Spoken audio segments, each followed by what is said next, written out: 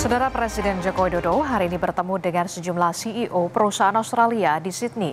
Mereka membahas persoalan tambang dan juga mineral dua negara. Dalam pertemuan dengan para CEO perusahaan Australia ini, Presiden Joko Widodo membahas tentang ekosistem electric vehicle yang sempat dibahas hingga tingkat ASEAN.